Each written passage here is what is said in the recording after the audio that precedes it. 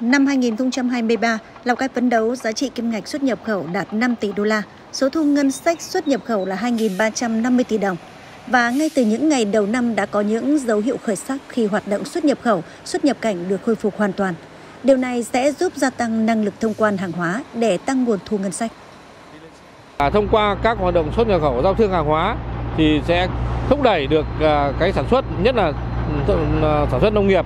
ờ, xuất khẩu hàng nông sản qua các cửa khẩu thì sẽ kích thích cho cái phát triển nông nghiệp hàng hóa của Việt Nam cũng như là giao thương và cũng như là tạo việc làm cho rất là nhiều lao động cũng như là thu nhập cho nhiều người. Đối với thu nội địa, việc các doanh nghiệp ổn định sản xuất kinh doanh, nhất là lĩnh vực công nghiệp, du lịch dịch vụ là tín hiệu tích cực. Những khó khăn nội tại đang được tỉnh tháo gỡ như đảm bảo nguyên liệu quạng duy trì sản xuất, tìm kiếm mở rộng thị trường, nhiều giải pháp chống thất thu, chây y nợ động thuế được triển khai. Đặc biệt, việc phân cấp, phân quyền cho các địa phương sẽ tăng tính tự chủ về ngân sách nhà nước. Tiếp tục coi thế là phân cấp, phân quyền cho các địa phương để các địa phương coi thế là ờ, chủ động, sáng tạo trong công tác tiếp tục tập trung vào cái công tác giải ngân vốn đầu tư xây dựng cơ bản và tăng cường công tác quản lý giá, quản lý coi thế thuế và quản lý coi thế là các doanh nghiệp để tạo cái còn và toàn ngành tài chính sẽ đoàn kết thống nhất và phấn đấu coi thế là quyết tâm cao nhất để hoàn thành coi thế là với cái kết quả. Lào Cai đang triển khai nhiều giải pháp nhằm tăng thu từ thuế phí và thu khác trong tổng thu nội địa, nuôi dưỡng, phát triển nguồn thu, đặc biệt là các nguồn thu có tính bền vững.